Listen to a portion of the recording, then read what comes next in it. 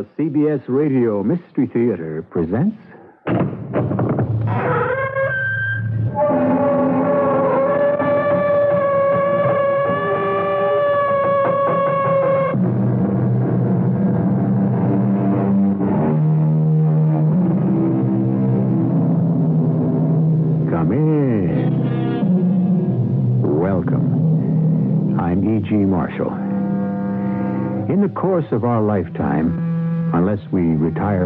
To solitary caves and live apart from others, as few of us choose to do, we make pledges, sign contracts, accept responsibilities, give and receive promises, and freely form ties of varying kinds.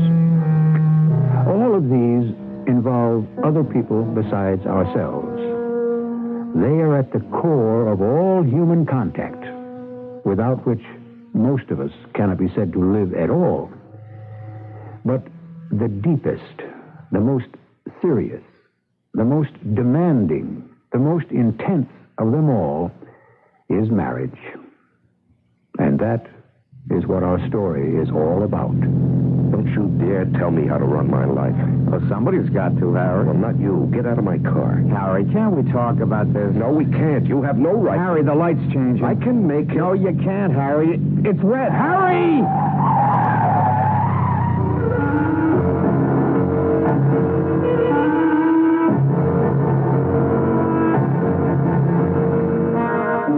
Our mystery drama, Human Error, was written especially for the Mystery Theater by Elspeth Eric and stars Larry Haines. I'll be back shortly with Act One.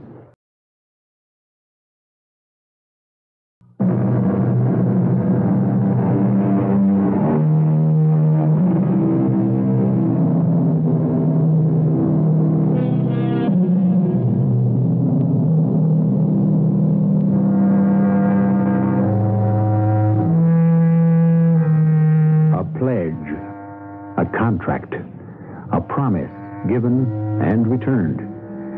All of these are in the nature of commitments.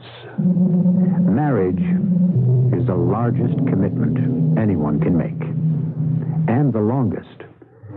A man can violate a pledge, break a contract, evade a responsibility, do any or all of these things and still keep his inmost self intact.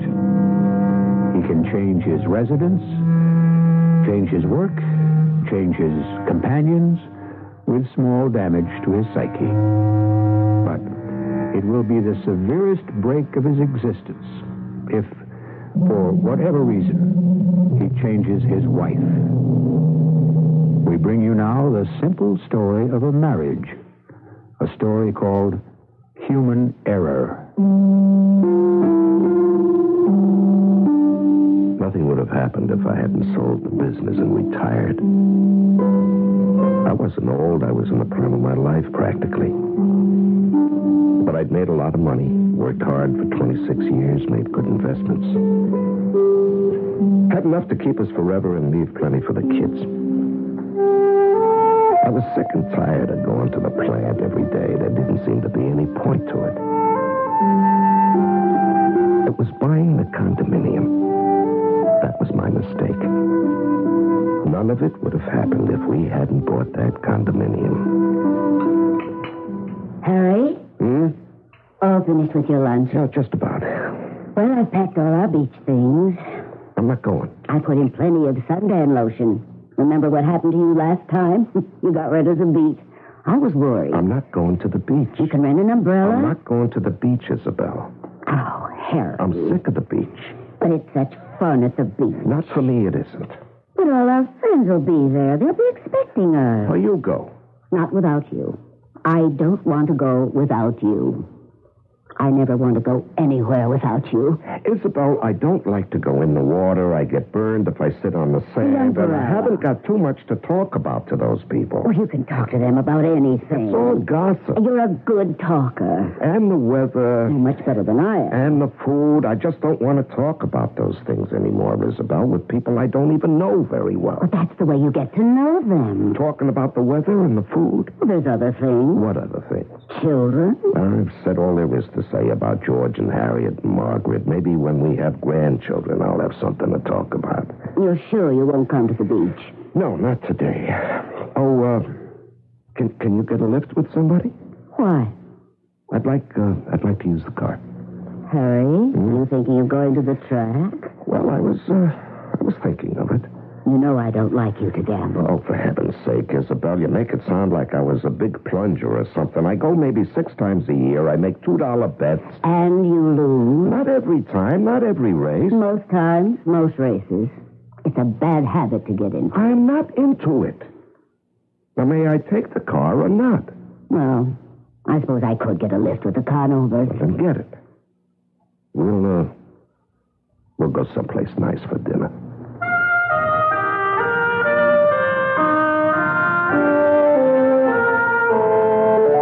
Up a friend on the way to the racetrack. Not one of the beach club people, a guy I'd known all my life practically. Not their type at all. Him and me, we could sit for hours not speaking at all. Other times we'd, we'd talk a mile a minute about anything and everything. I knew him inside out, and he knew me. I just couldn't face it today. Some, you know, same people saying the same things the same way, same stories, same jokes, same arguments. I need a little action. Well, Isabel must have been disappointed. Oh, she'll have a good time. She likes that stuff. Ah, she likes it better if you're along. Yeah, sure, but uh, oh, she'll be okay. She'll hitch a ride with a Conover. She likes them. They like her, so forth and so on. So, uh, she didn't mind your taking the car. Well, she didn't say she minded, so I guess she didn't mind. Well, she probably thought you needed it more to uh, get to the track. That's perfectly true. Well, we could have taken the bus. Nah, the bus is no good. Well, it's not bad. I wouldn't have minded. This way, Isabel will have to wait till the Conovers feel like going home. Well, they'll probably all stay late, maybe have dinner there in the clubhouse. Uh, probably. I just felt. I just felt like I had to have a little action. Know what I mean? Certainly, I know what you mean. Same old thing all the time drives you nuts. Yeah, watch that light, Harry. Know, it gets boring. Same people, same. Harry, the light's changing. I can make it. No, you can't, Harry. It's wet. Harry! For Pete's sake, Harry! Did I hit that girl back there? I think you did. Well, take a look, will you? Yeah. Oh, you knocked her down. I did. But, but, but she's getting up. Is she all right? I think you'd better back up. She walking around? Yeah, yeah. b- b- Back up. Uh, back up, Harry. She looks okay to me. Uh, we better make sure. You all right? I, I think so. I didn't see you. I didn't see you either. We better take her to the hospital. Well, she says she's all right. She says she thinks she's all right. What if she isn't? Listen, uh, get in the car. I'll drive you to the hospital. They can check you over. Oh, well, I don't think it's anything serious. It's just ruined my Oh, pantyhose. you've got blood on your leg. Come on, get in. Well, you insist. I do. I insist. Okay, then. I really don't think there's anything wrong. Yeah, well, uh, we'll make sure, okay? That way I'll feel better.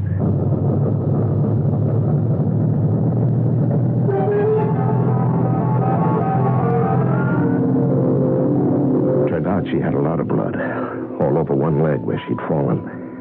And there was another cut on her head, quite a deep one.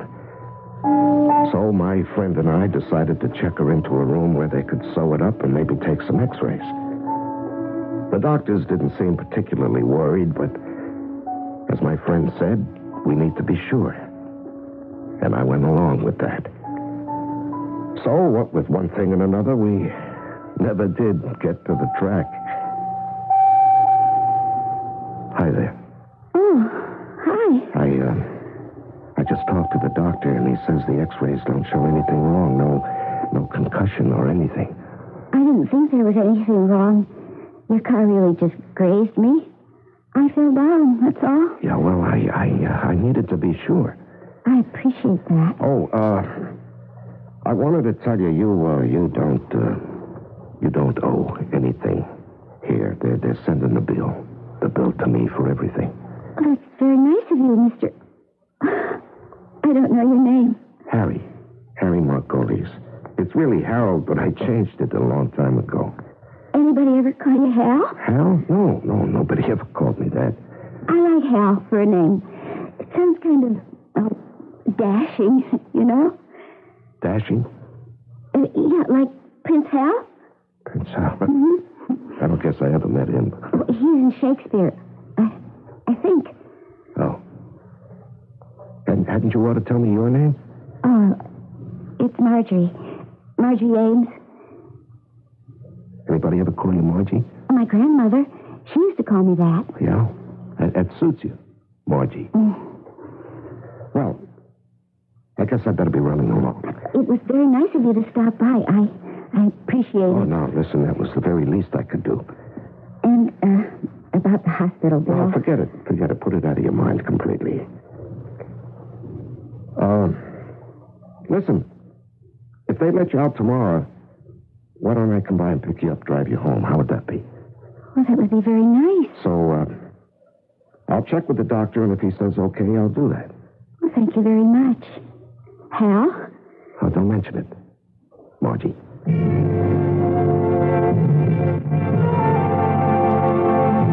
She certainly was a nice girl. Early 20s, I'd say. No raving beauty, but pretty. Definitely. And friendly. Nice. Nice girl. Nice girl named Margie. Cute, cute name. Cute girl. Made me feel good that I'd made her acquaintance. Different. di- Different from the people I'd been spending time with. I stopped being sorry I'd missed the afternoon at the track. But the next day, the doctor told me they wanted to keep her at the hospital one more day, so I called my friend, and we made a date to go to the races. Isabel mind you uh, taking the car? Not too much. She asked you anything about yesterday? Nope. You uh, tell her anything? Nope. You don't think you should have? What's there to tell? The accident. It wasn't serious. Why should I worry you? The girl.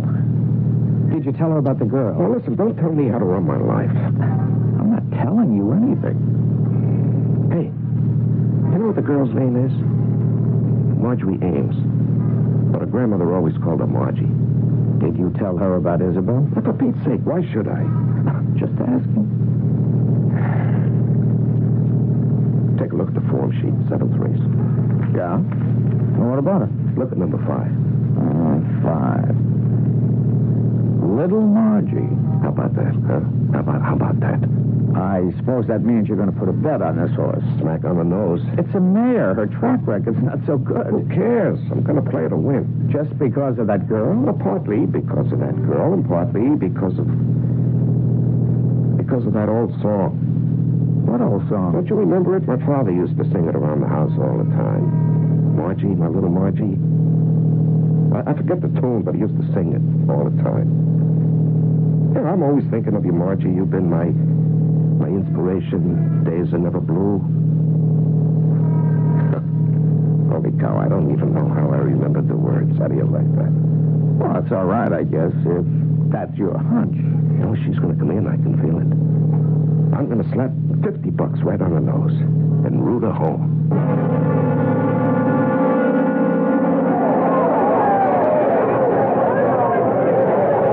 Margie went off at a 100 to 1 on booth. She stumbled coming out of the gate and she got pocketed between two other horses at the far turn. But then the jockey found an opening and glory be, that little filly put on the speed. Pretty soon she was flying. Flying! I kid you not, that little baby was flying.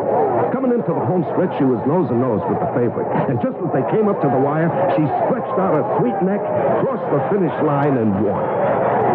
My little Margie.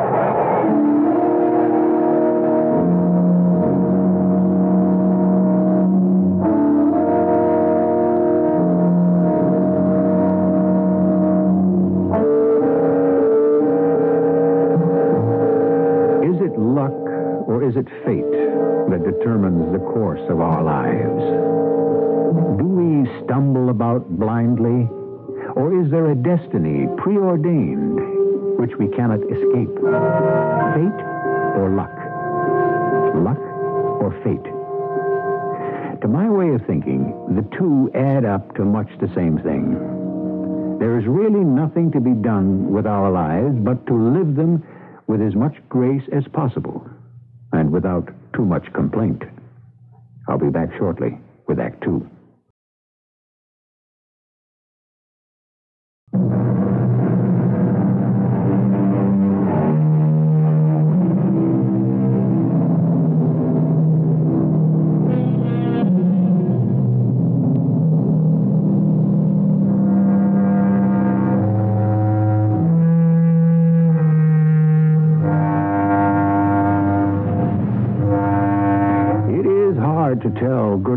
Bad.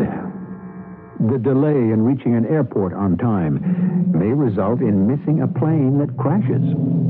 The loss of one job can mean the finding of a better one. And the forsaking of one lover may lead to the discovery of a more suitable one. So, bad luck may transform into good luck, and vice versa. The trouble is, it takes so long to find out which is which.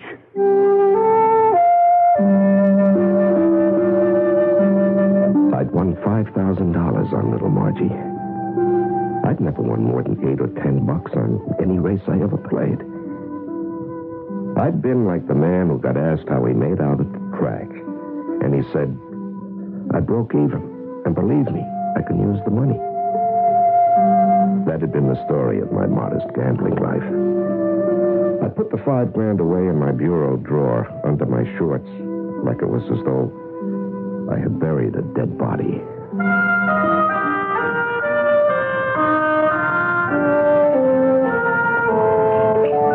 Harry, Hmm, you finished with your lunch? just about. Oh, you didn't eat much. Oh, I had enough.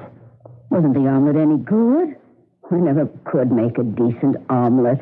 You really need a special pan for omelets. I'll buy you one, remind me. Ah, looks like it's going to rain, doesn't it? Yeah. Not a very nice day for going to the beach. No, no, it's not. Still, it might clear up later. Very often it does. I don't think so. You don't really want to go anyway, do you? You don't really like the beach, Oh, the beach is all right. but you like the racetrack better. Isabel, I wish you wouldn't talk like I was, uh, I was a compulsive gambler. I go to the track once a month, it's a lot, and I don't even go once a month. You went yesterday, and the day before yesterday. Well, probably won't go again the rest of the year.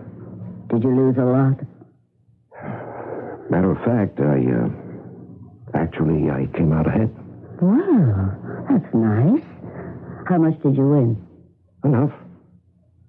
Enough to buy you an omelet, Dan. Marvelous. Thank you very much. You're welcome. So, if we're not going to the beach, what do we do? Look, we don't have to do anything, do we? No, If you don't mind, I'm going to take the car and drive into town, meet a friend of mine. a friend? Yeah, sort of. Uh, somebody, somebody I've known for a long time. Oh, somebody I don't know? Well, you don't know this one. Pardon my asking, but is this friend uh, male or female? Male. Well, that's a relief. I was worried there for a minute. Hey, you don't really think. No, no, no, no, of course I didn't. My goodness, I know you better than that. Yeah, I'll, I'll pick him up and we'll go have a cup of coffee, maybe a drink, talk things over, you know. Mm, I know. Man talk, Yeah, something like that. like women have girl talk. Yeah. You'll be all right? Oh, sure. I'll curl up on the divan, finish all those old magazines I haven't had a chance to look at, or maybe I'll start those duties for Margaret's baby. Have them ready by the time she gets here. Well, don't get lonely, okay? I, um, I don't know just when I'll be back. Oh, don't worry about me. I'll be fine. Have a good time with your friend, whom, by the way, I'd like to meet sometime. Yeah. Sometime. Frankly, I felt rotten driving to the Venice Bar and Grill. My friend and I didn't say much on the way. He usually knew when I wanted to talk and when I didn't, so He just sat there waiting for me to say something. It wasn't until after the first beer that I felt like opening up. I, uh, I put the money under my shorts. You uh, didn't tell Isabel. I told her I won a few dollars. Not 5000 Well, that's crazy, isn't it? Why shouldn't I win 5000 once in my life? Well, it would have meant telling her you put up 50 Well, why shouldn't I? Instead of your usual two. Well, Because the horse's name was Little Margie. well, yeah. And you just met a girl named Margie. So? And you hadn't told her about meeting Margie. So you couldn't tell her about the horse or the $50 you bet or the 5000 you won. It's all very simple. Well, maybe to you it is, not to me. You, uh, just haven't thought it through. All right, you're so smart. Why don't you think it through? Well, that wouldn't do any good. Well, it would clear things up for me. no, no, it wouldn't. Then It'd clear things up for me, and you'd be right back where you started. Now, some friend you are. I try to be. I'm very fond of you, Harry. You know that. Well, you've got a funny way of showing it. I do my best. Listen. Listen, the reason I didn't tell Isabel about the money, or the bed, or the horse, or the accident, or the girl. Yes. The reason for all that is? Well, you see, the reason is I, I told. I told Margie I'd call up and see if they were going to let her out of the hospital today. Mm-hmm. And I, uh. I, I mentioned something about maybe driving her home. I see. Well, that's the least I can do. After all, I knocked the girl down with my car, my fault entirely. I got careless. I ran a red light. It's my fault she's in the hospital in the first place, right? Right. So, the decent thing to do is pick her up and and and, uh, and, and drive her home. Well, I'm sure she can get home by herself. Well, that's not the point. What is the point? The point is, The point is, my dear friend, you'd like to see that girl again. There any crime in that? No crime. I'm going to call the hospital. Go ahead. Oh, bartender, can I have a phone here, please? Well, the least I can do is find out if she's okay or not, right? Right, absolutely. After all, I'm the one responsible for being in the hospital. Oh, uh, thank you. That poor kid was crossing the street perfectly innocently with the light. A crazy nut comes breezing through against the light. I told you about the light, that it was turning Yeah, red. I know, I know. What's that got to do with it? Oh, hello. Uh, would you connect me with room 311? Miss Marjorie Ames? Thank you. You remembered her room number. Oh, why not? Well, you were there only once. Well, so what? Hello? Oh, uh, hello. Is, uh, is this Margie? Oh, uh, yes. Is, is this Hal? Yeah, yeah. Prince Hal. I, I didn't know if I'd hear from you. well, I, I told you I'd call and see if you're all right. Oh, I, I'm fine. The doctor was just here. He says I can go home. Oh, hey, that's great. Well, I, I, I am certainly glad to hear that. Uh, listen, I, uh, I've got my car. Why, why don't I shoot over to the hospital and pick you up and drive you home? Why don't I do that, huh? Oh, that would be wonderful. Okay, I'll, I'll be there in, uh, oh, five minutes. I'll be waiting. So long. So? So? I'm going to the hospital, pick her up and drive her home. Want to come with me? Uh, no, thanks. I thought maybe you didn't trust me to go alone. I trust you, Harry. No, I, I think I'll stay here and have something to eat. Yeah, that's a good idea. So after I drive her home, I'll come back here and join you, okay? Is that okay? That's okay, Harry. I'll be expecting you.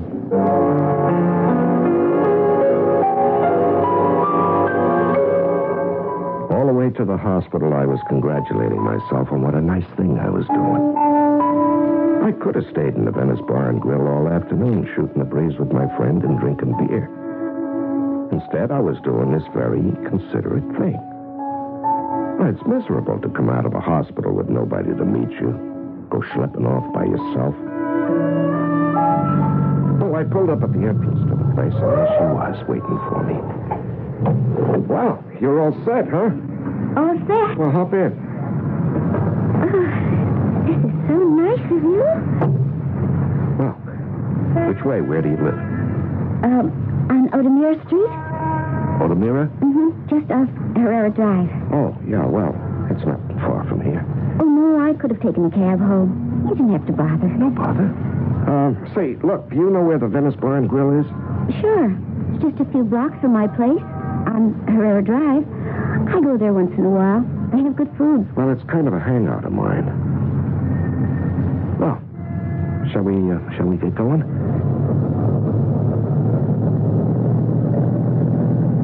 You didn't have any trouble with the bill, did you? Oh, no. They said it had all been taken care of. Good, good. That was extremely nice of you. Listen, I'm, I'm responsible. Oh, not really. Yes, really. really. I ran a red light. I didn't watch where I was going. Well, we won't argue about it, will we, Margie? No, Hal. I wouldn't want to argue with a prince. Hey, will you come off that Prince Hal stuff? It suits you. You wouldn't kid me, would you, lady? No, I wouldn't kid you. Not for anything. I really wouldn't. You're too nice. Oh, come on. I mean it. Well, you're very easy to be nice to. You're pretty nice yourself, you know. Oh, I hope I see you again, Hal. Well, we'll, we'll uh, probably run into each other.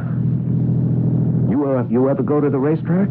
No, I, I never do, but maybe I will someday. Yeah, I, I don't go too often myself. I, I have a friend, and uh, sometimes we go out there together, but not very often. It isn't a regular thing. Well, maybe we'll run into each other at the Venice Bar and Grill sometime. Yeah, yeah, maybe.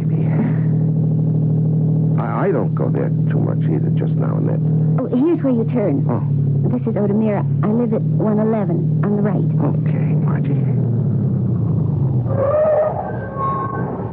Is it? This is it. Could I uh, invite you to come in for a minute? I could make you some coffee or something. Oh, I don't know. If you're hungry, I could make you an omelet. An omelet? Mm-hmm. I make a very good omelet. Oh. Listen, Margie, I just remembered I left a friend of mine back at the Venice Grill. He, he was going to have something to eat, and I think he's expecting me. Oh. Well, maybe some other time.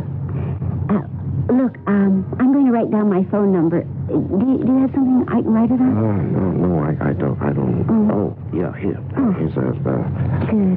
packet of matches. Yeah. Can, can you write on that? Oh, oh, sure. I hope you use it sometime. I'm a lot. You are. Thanks. I'll, I'll put it in my wallet. That way I won't lose it. Well, uh, can you get inside all right by yourself? Oh, sure. Good night, Hal. I'll be waiting to hear from you. Yeah, yeah. I'll, I'll give you a ring one of these days. So long. Take care, Margie. Uh, you too, Hal. I drove off like I'd been shot out of a cannon. My friend was right. I had wanted to see this girl again. And I'd seen her. And she asked me into her apartment. If only. If only she hadn't said what she did about making me an omelet.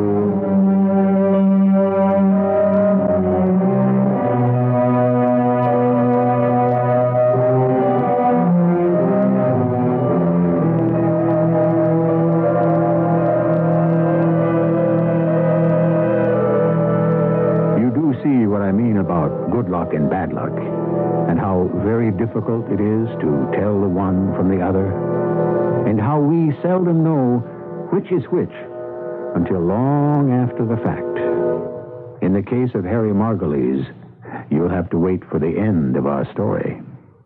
I'll be back shortly with Act 3.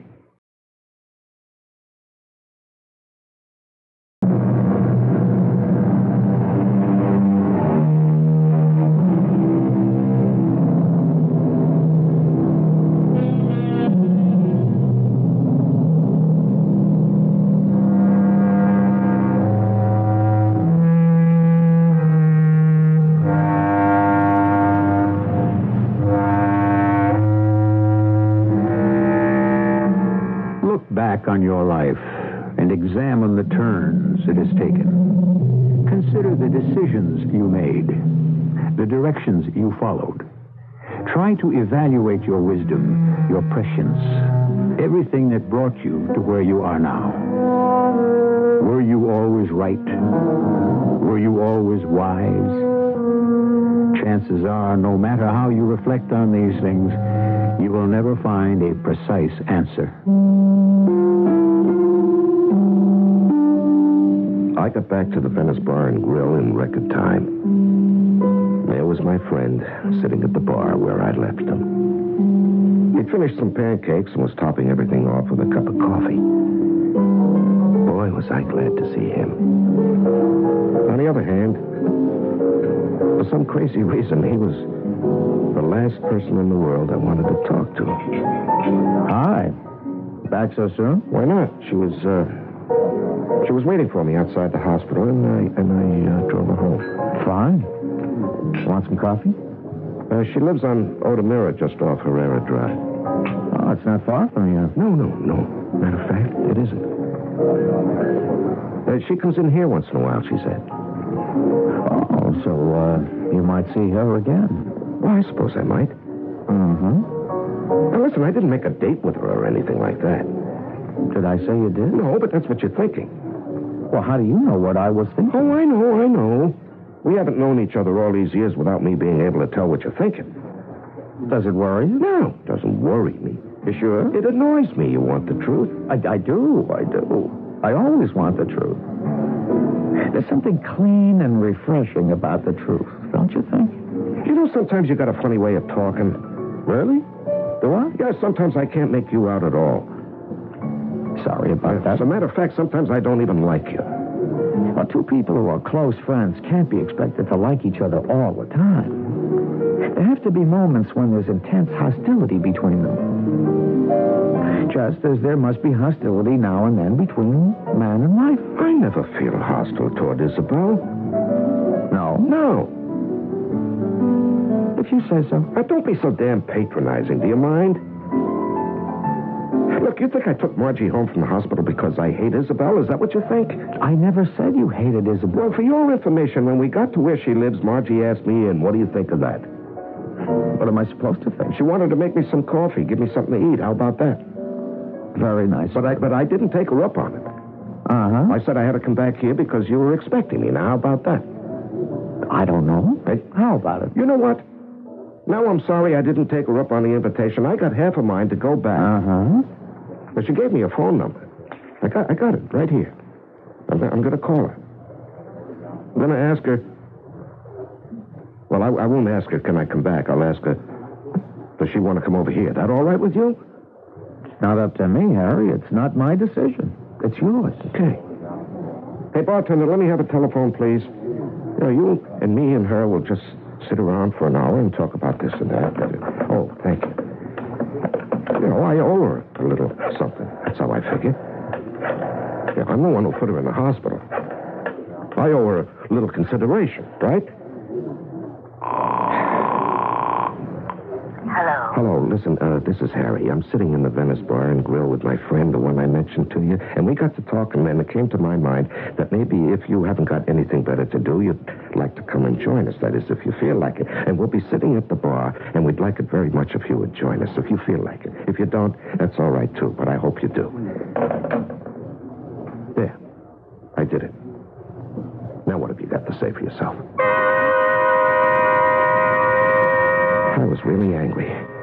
The guy was trying to run my life for me. Now, I'm not a person who can't take a little criticism now and then, but he was poking his nose into things that were none of his business. And I meant to tell him to butt out. But when I turned around to speak to him, he'd gone. He ducked out. Couldn't face it. I ordered and sat there waiting. Hi, Harry. Oh, Isabel, it's you. Well, where's your friend? My friend? Well, you said on the phone you were with your friend. I said that? You said you were sitting here with your friend and I should come and join you. I thought, what a sweet idea.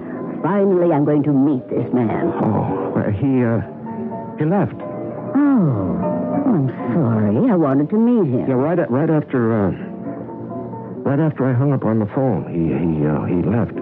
You think he didn't want to meet me? Well, I don't know. I don't know why he left. He didn't say. He just left. What have you been telling him about me? That I was some kind of an ogre? No, no, no, nothing like that. Isabel, I'm so glad you're here. So am I. I'm just sorry your friend couldn't wait. Well, never mind about him. It would have been fun to meet him. Well, I, uh... Listen, Isabel, I have something to tell you. All right. Uh, could I have a beer or something? Yeah, later, later. First, uh, first I have to tell you something. My, you sound so serious. Yes, I am. I am serious. Isabel. Isabel, you know the day I wouldn't go to the beach and you let me have the car to go to the track just, just a couple of days ago. Do you remember? Mhm, I remember. Well, I, I never, I never got to the track. I, uh, I had an accident with the car. An accident? Were you hurt? No, no, no, I wasn't hurt, but I, I knocked somebody down, a girl. Oh, Harry, was she was she hurt? No, not much. I, I took her to the hospital. She was bruised a little, had a cut on her head. That's all. She was only in the hospital a couple of days until today, as a matter of fact. Well, I'm glad she's all right. Why didn't you tell me? Her, her name was, uh, well, her name was Marjorie Ames, but her grandmother used to call her Margie, she told me. Well, you had quite a talk with her, didn't you? No, no, no, not really. It just came up in the course of conversation when I, when I went to see her at the hospital. Oh? You went to see her? Well, I, I had to see if she was all right, didn't I? And I had to take care of the bill, didn't I? Oh, I guess. Yeah, well, certainly, certainly I did. But, uh, listen, what I want to tell you, Isabel, uh, you see, the day after the accident, me and my friend went to the track, and I, uh, I bet on a long shot.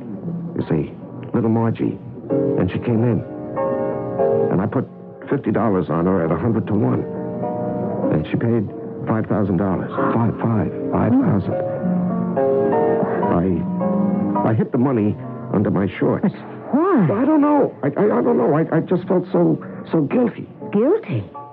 Because you won $5,000? I haven't told you the whole thing. I think you'd better. I want to. So go ahead. Well, yeah. Uh, today, the girl was ready to go home from the hospital. She was okay. Mm-hmm. And I, uh, I went to the hospital and I picked her up and I drove her home. Well, that was nice of you. Yeah, that's that's what I thought. But um, well, there's more. You see, when when we got to her place, she asked me to come in. Did you? No, no, I didn't. But there's more. Oh? She, um, you see, she gave me her phone number. She asked me to call her up sometime. Oh. And did you? Uh, yes.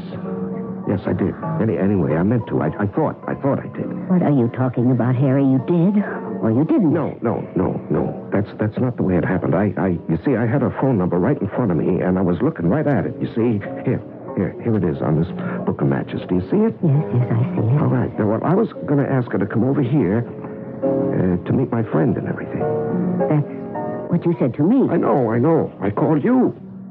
I had her number right in front of me, but I didn't dial her number. I called home. I called you. I thought you sounded funny on the phone. Now, Isabel, I may be losing my mind. Do you think I am? Well, if you are, everything considered, I like it.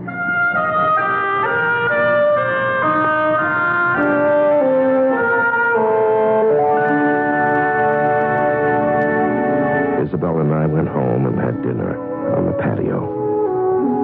Tasted good. She had on something long and silky and pale blue. She looked great. After dinner, we walked down to the ocean and watched the sunset. It was spectacular. Then we walked back to the house and went to bed. The next day, I met my friend at the Venice Bar and Grill. I don't understand it. I don't understand the whole thing. Interesting. I've never felt that close to Isabel since we got married, closer even. I was so happy. I was so contented. I, I was so glad to be where I was. You liked yourself. I liked myself, yeah. And I liked her, and I liked everything. I even like the people at the beach club. They're, they're not so bad, really. Isabel and I are going to the beach this afternoon, and I'll listen to all the old jokes and the old arguments, and, and it'll be all right. I uh, take it we won't be going back to the track. Not today. Next week? Next month? Maybe. Hey, you know what Isabel's buying me? I gave her the $5,000, and she's buying me some binoculars. Oh. so's I can see the horses better. How about that? She's quite a girl, that Isabel. Yes, she is. And you want to know something funny? She wants to meet you. Well, maybe we'll run into each other one of these days. Maybe. Well, if you ever do, you'll like each other. I imagine we will. Listen. Do you know. Do you know why I made that phone call when I thought I was calling Margie? Why? Tell me. I was mad at you. Really? Yeah, I thought you were trying to run my life. I'd never do that. I thought you were trying to keep me from having some fun. I couldn't do that if I wanted to. No, I guess you couldn't. Why do you suppose you dialed Isabel's number instead of Margie's? I don't know. It beats me. Now, I think you know. All right, you're so smart. Why don't you tell me? Ah, if you insist. I think your fingers knew better than your head what you wanted and what you needed.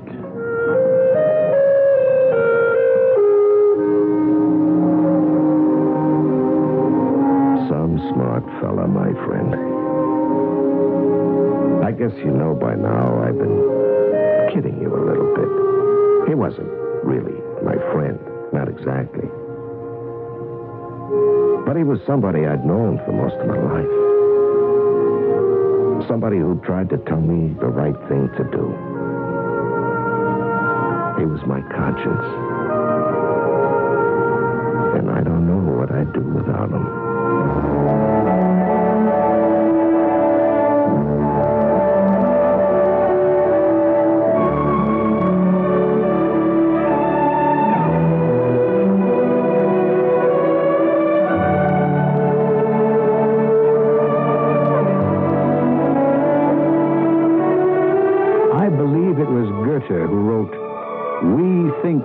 Push, but we are pushed. Is it possible that we go through life with a firm conviction that we are doing what we choose to do, and when and where we choose to do it, and with whom? That conviction is quite mistaken. Hidden forces, quite unknown to us, are deciding for us what we will do, when and where we will do it, and with whom. I'll be back shortly.